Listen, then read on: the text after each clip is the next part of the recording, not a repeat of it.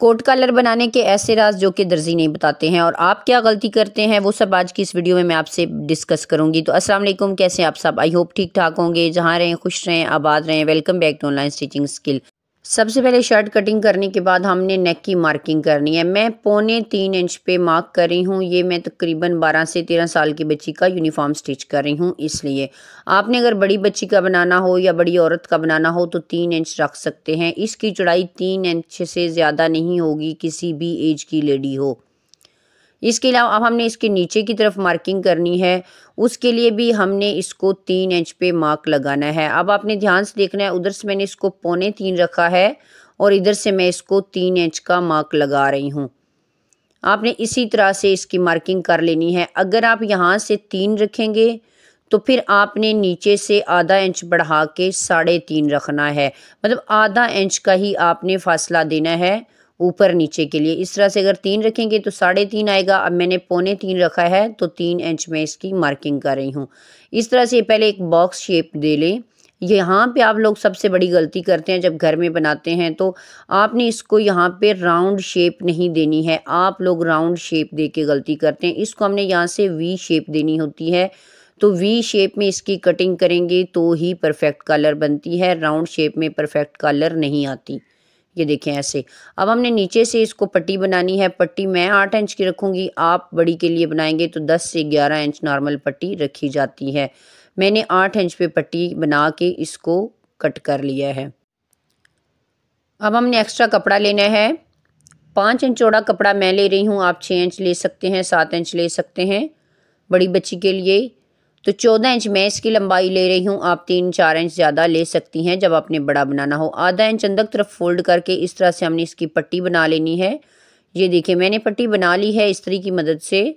आधा इंच अंदर की तरफ़ फोल्ड किया है और एक इंच मैंने पट्टी बनाई है। ये हमारी दो पट्टियाँ रेडी हो गई हैं। अब हमने इसको हाफ़ इंच पे यहाँ निशान लगाना है और जो हमने गला कट किया था अपनी शर्ट से, उसी को रख के पैटर्न को उसके साइड पे हमने कट कर लेना है ताकि आप लोगों की कटिंग परफेक्ट आए। ये देखें इस तरह से। इसको साइड पे करके हम यहाँ से कट कर लेंगे। कुछ इस तरह से। अब हमने इसकी लंबाई देखनी है। लंबाई हमारी आठ इंच की पट्टी है। हम इसको नौ इंच करेंगे। कट। एक इंच जो है मैं सिलाई के हक के लिए छोड़ रही हूँ या अगर छोटा बड़ा हो तो बाद में हमें मसला ना हो। ये देखें, ऐसे। अब आपने ध्यान से देखना है, जब हमने ये पट्टियाँ रखनी हैं तो किस तरह से रखनी है? इस इस तरह से आपने ऊपर नीचे रखना है कपड़े को, आपकी दोनों पट्टियाँ बाहर की तरफ़ होनी चाहिए, एक देखें इधर और एक इधर।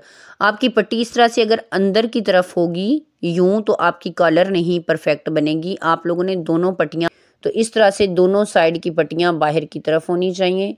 दो इंच नीचे से मैं रख रही हूँ और इस तरह से तिरछा कट कर रही हूँ। ये आप अपनी मर्ज़ी के हिसाब से रख सकते हैं, इसमें कोई इशू नहीं है। अब हमने इस तरह से ये पट्टियाँ रेडी कर ली हैं। अब हमारा पैटर्न रेडी हो गया है नेक के लिए। अच्छा आप इसको सिंपल भी बना सकते हैं। नॉर्मल इसमें पट्टी नहीं लगती है बुकरम की, लेकिन मैं इसमें बुकरम की पट्टी लगा रही हूँ। क्योंकि ये जो फैब्रिक होता है यूनिफॉर्म का, ये हल्का होता है तो इसमें काज करवाने के बाद पट्टी में झोल आ जाती है तो अच्छी नहीं लगती फिनिशिंग नहीं होती। तो इस तरह से मैंने इसमें पट्टी लगा ली है। जितनी आपने पहले पट्टी रेडी की थी, उस तरह से आप वैसे भी बना सकते हैं वन इंच की, लेकिन मैंने इसमें वो बुकरम की पट्टी लगा के इसको रेडी कर लिया है। अब हमने पट्टी लगाने के लिए मार्किंग करनी है। शर्ट को हाफ़ इंच जो है, देखिए अब हमने मार्किंग करनी है, क्योंकि वन इंच हमारी पट्टी है तो हाफ़ हाफ़ इंच दोनों तरफ़ से इकट्ठा करेंगे तो पूरा वन इंच ही ये हमारी मार्किंग बन जाएगी। तो इस तरह से हाफ़ हाफ़ इंच की हमने मार्किंग करके इसको यहाँ से कॉर्नर पे कट लगाना है बड़े ध्यान से। खोल के दिखाती हूँ इस तरह से। अब हमारी ये देखें, ये जो कट लगा है, ये जो गैप बना है, यहाँ पे हम गलती करते हैं, ये कट हमारा बड़ा हो जाता है। और इसका जो दर्जी होते हैं, वो राज नहीं बताते हैं, वो किस तरह से परफेक्ट बनाते हैं, मैं आपके साथ वो राज आज शेयर करने जा रही हूँ कि यही वजह होती है जो दर्जियों की परफेक्ट आती है, यहाँ पे चुनट नहीं आती, कपड़ा खुलता नहीं है। उसके लिए हमें थोड़ी सी ट्रिक यूज़ करनी पड़ेगी बुकरम की। हमने छोटा सा बुकरम का पीस ले लेना है, तकरीबन डेढ़ इंच, और इसको यहाँ पे बस पेस्ट कर देना है। ये देखिए, मैं अभी आपको पेस्ट करके दिखा दूँगी। ये देखिए पेस्ट मैंने कर लिया है। और यूँ, अब ये देखें, ये मज़े की चीज़ है। अब पेस्ट करने के बाद जब हम नॉर्मल करते हैं सिलाई तो यहाँ पे खिंचाव आ जाता है। खिंचने से उसका गैप ज़्यादा हो जाता है। तो हमारी परफेक्ट वो पट्टियाँ नहीं आती हैं, उसमें चौड़ाई ज़्यादा हो जाती है तो अब आप देखेंगे हमारी पट्टी बिल्कुल परफेक्ट इसमें लग कर आ जाएगी।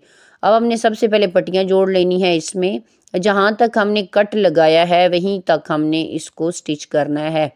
ये देखिए, मैंने मार्किंग की हुई है मार्किंग तक मैंने इसको स्टिच कर लिया है। ऐसे। इसी तरह मैं दूसरी पट्टी लगा लूँगी, जो हमने मार्किंग की है, उसी पट्टी के हिसाब से। अब हाफ़ हाफ़ इंच ही हमारा अंदर गया है कपड़ा।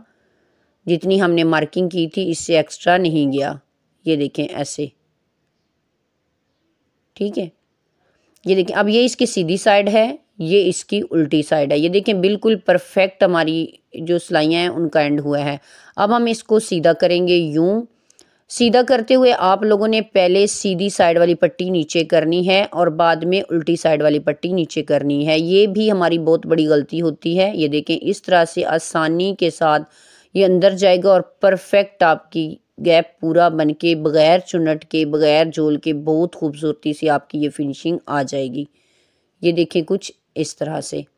यहाँ से अब हम पकड़ेंगे, पीछे की तरफ़ देखते हैं। तो नीचे से भी ये देखिए हमारी बिल्कुल बराबर पट्टियाँ आ रही हैं।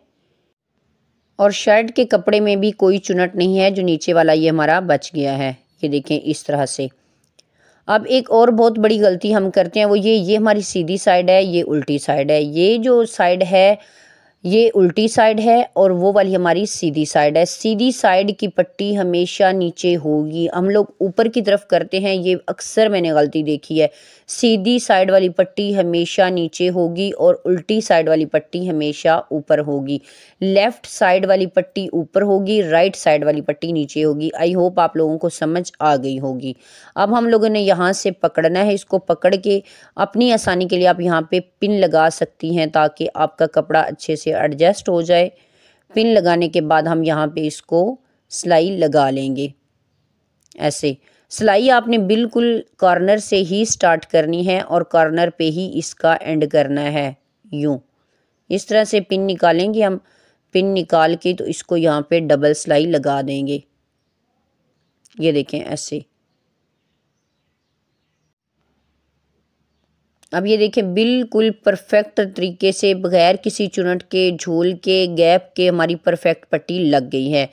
अब हमने लगानी है मार्किंग कॉलर के लिए। उसके लिए देखिए, मैंने बिल्कुल सिलाई के साथ ही निशान लगाया है और तकरीबन हाफ़ इंच का मैं इसको कट दे रही हूँ, तकरीबन हाफ़ इंच का। आप लोगों ने भी इसी तरह से हाफ़ इंच का ही कट देना है सिलाई के हक के लिए। यहाँ से अब हम इसको नीचे वाले कपड़े को ऊपर की तरफ़ करेंगे और ये जो हमारा जॉइंट होगा, ये भी अक्सर लोग गलती करते हैं, बाहर की तरफ़ कर देते हैं। इसको हमेशा अंदर की तरफ़ होना चाहिए, बुकरम के ऊपर होना चाहिए। ठीक है? अब हम इस तरह से बैक मोड़ लेंगे। मोड़ने के बाद इसको स्टिच कर लेंगे, जहाँ तक हमने कट लगाया है, वहाँ तक। यहाँ पे रखेंगे। रखने के बाद इस तरह से हमने इसको कट लगा लेना है। ये कट भी हम लोगों ने सीधा नहीं लगाना है, बल्कि थोड़ा सा तिरछा जिस तरह से वी कटिंग है, इसी तरह से हमने इस कट को भी स्टिच करना है। अब मैं दूसरी तरफ़ से भी कर लूँगी। ये देखें, ऐसे। हमने सिर्फ़ कट तक इसको सिलाई लगा के बंद करना है। यूँ। ये देखें, अब हम इसको यहाँ से सीधा करेंगे। सीधा करने के बाद ये देखें कुछ इस तरह से इसकी लुक आ जाएगी। ये देखें इस तरह से अब ये कॉलर के लिए जगह बच गई है, जामनी कॉलर अटैच करना है। अब मैं शोल्डर ज्वाइंट कर रही हूँ। जब तक मैं शोल्डर ज्वाइंट कर रही हूँ, तब तक आप जल्दी से चैनल को सब्सक्राइब कर दें और साथ लगे बेल आइकन को क्लिक कर दें। वीडियो पसंद आए तो वीडियो को लाइक अब हम चेक करेंगे कॉलर हमारा कितने इंच का लगना है। स्टार्ट करेंगे एक तरफ़ से और दूसरी तरफ़ ले जाएँगे बड़े आराम से खिंचाव किए बगैर। चेक करते हैं जी, ये हमारा बारह इंच का यहाँ पे कॉलर रेडी होगा। ये देखिए, बारह इंच का। लेकिन हमने यहाँ पे चौदह इंच का बुकरम कट करना है। ये देखिए, चौदह इंच का बुकरम मैंने कट किया है इसका और चौड़ाई मैं इसकी दो इंच रख रही हूँ। अब हमने बारह इंच का हाफ़ करना है तो सिक्स इंच पे हम इसको निशान लगाएँगे। सिक्स इंच पे निशान लगाने के बाद हमने इसको इस तरह से तिरछा करके कट कर लेना है। तिरछा आप अपनी मर्ज़ी के हिसाब से कर सकते हैं, कम या ज़्यादा। लेकिन मैंने इसको थोड़ा सा कॉर्नर शेप में ही बनाया है। थोड़ी सी आप लोगों ने दो एक सूत्र की कटिंग यहाँ से कर लेनी है। अच्छा कलर को हमने कपड़े के ऊपर पेस्ट करना है। ये देखें, पेस्ट अब मैंने कर लिया है। ध्यान से आपने देखना है, नॉर्मली जब हम कलर बनाते हैं तो इस कपड़े को ऊपर फोल्ड करते हैं, तब स्टिच लगाते हैं। अब हमने इसको ऊपर फोल्ड किए बगैर ओपन रख के ही स्टिच लगाना है। यहाँ से हम इसको ऊपर बुकरम के फोल्ड नहीं करेंगे। बड़े आराम के साथ आपको दिखा रही हूँ। ये देखें इस तरह से आपने बुकरम के ऊपर फोल्ड नहीं करना है इसको। ऐसे इसको ओपन रख के ही हमने स्टिच करना है। कॉलर को सीधा करेंगे। कॉर्नर से भी सीधा कर लेंगे। असल हम लोग यहीं पे गलती करते हैं, वो भी आपको अब बताने जा रही हूँ। वीडियो को स्किप किए बगैर आपने देखना है, ताकि आप लोगों को समझ आ सके कि कहाँ पे आप लोग गलती कर रहे थे। ये देखें अब हमने दोनों तरफ़ से इसको पेस्ट करके मार्किंग कर ली है। सेंटर निकालेंगे सबसे पहले हम कॉलर का। इस तरह से कॉलर का सेंटर निकालने के बाद हम हमने शर्ट का भी सेंटर निकाल लेना है। शर्ट का सेंटर भी रखेंगे और कॉलर का भी इस तरह से चेक कर लेंगे। ये देखिए हमारा कलर परफेक्ट पूरा है। अब जहाँ भी हमारा शोल्डर का जॉइंट है, उधर से हम दोनों तरफ़ से मार्किंग कर लेंगे। इस तरह से चेक करके, ये देखें बिल्कुल बराबर कलर है। हमने मार्किंग कर लेनी है कॉलर के ऊपर। कुछ इस तरह से। ये देखिए, अब मार्किंग करने के बाद आपने ये जो साइडों पे दोनों शोल्डर वाले कट लगाए हैं, निशान लगाए हैं, उनको कट कर लेना है कुछ इस तरह से। कट करने के बाद अब आप लोगों ने सीधा, देखिए हमने फोल्ड नहीं किया हुआ बुकरम के ऊपर कपड़े को, दोनों कपड़े सीधे हैं हमारे कॉलर के और इस तरह से गुम सिलाई की मदद से अंदर रखेंगे और नीचे से सारा फोल्ड करते हुए ऊपर की तरफ़ हमने इस कपड़े को ले आना है। ये देखें ऐसे। और यहाँ से हम रख के लगाना स्टार्ट कर देंगे। इस तरह से एडजस्ट करेंगे और इसको हमने शोल्डर तक ही जॉइंट करना है। ऐसे गुम जॉइंट करना है हमने इसको शोल्डर तक। ये देखिए, बड़े बी केयरफुली आप लोगों ने इसको लगाना है, जो आप लोगों ने प्रेस की मदद से मार्किंग की है, उससे आपको आइडिया हो जाएगा कि आपकी स्टिचिंग किस जगह तक आएगी। इसको आपने खिंचाव नहीं देना है। दोनों कपड़ों को आप लोगों ने लूज़ छोड़ के बस स्टिच करना है और ऊपर से ऊपर वाला कपड़ा थोड़ा सा फोल्ड कर देना है। यूँ करके, ऐसे। और यहाँ से डबल ट्रिपल करके आपने निकाल लेना है। ये देखिए, निकाल के मैं आपको दिखाऊँगी कि बिल्कुल भी खिंचाव के बगैर सिंपली बहुत ही खूबसूरत सा हमारा ये रेडी हो गया है स्टिच करके। अभी हम प्रेस करेंगे तो इसमें और भी नफासत आ जाएगी। कहीं के भी झोल और चुनट नहीं आई है। अब हमने इस तरह से आगे रखना है, रख के दूसरी तरफ़ से भी इसको चेक कर लेना है। पहले हमने इधर से इसको अटैच करना है, दूसरी तरफ़ से उसी तरह से पीछे वाले कपड़े को ऊपर की तरफ़ फोल्ड करेंगे। यूँ मूव करके ऊपर ले आएँगे और इस तरह से हमने इसको भी रख के स्टिच लगा लेना है। स्टिच लगाते हुए इस बात का ध्यान रखना है कि यहाँ पे जो कट लगा है, वो सारा आपका सिलाई के अंदर कवर होना चाहिए। कि कट आपने बड़ा नहीं लगाना है, कट आपका इतना ही होना चाहिए जो सिलाई के अंदर कवर हो जाए। इधर से भी हमने थोड़ा सा फोल्ड करके शोल्डर तक ही इसको ज्वाइंट करना है। ये देखें ऐसे करके आपने इधर से भी ज्वाइंट कर लेना है। यूँ। अब आप देखेंगे तो ये सिर्फ़ हमारा पार्ट बचा है। इस पार्ट को आपने ध्यान से देखना है। अब हमने दो पीसेस जो नीचे वाले हैं, उनको पकड़ के स्टिच करना है, जो बुकरम के साथ अटैच है, इसको अंदर की तरफ़ फोल्ड करना है। ये देखें, ऐसे अब मैं रख के दिखाऊँगी आपको यूँ। ये देखें, जो बुकरम वाला है, वो हमने अंदर की तरफ़ फोल्ड कर दिया है। और जो नॉर्मली जैसे अब कलर लगाते हैं, उसी तरह से नीचे वाले दोनों पार्ट शर्ट का और बुकरम के बगैर जो कलर का दूसरा पार्ट है, उसको हम सिलाई लगा रहे हैं। यूँ करके। जो बुकरम के ऊपर अब पे फैब्रिक था, अब हमने उसको अंदर की तरफ़ फोल्ड किया है, कार्नर से भी आप अच्छे से अंदर की तरफ़ फोल्ड कर दें ताकि फिनिशिंग अच्छे से आए और यूँ करके आपने इसको भी स्टिच लगा लेना है। यूँ।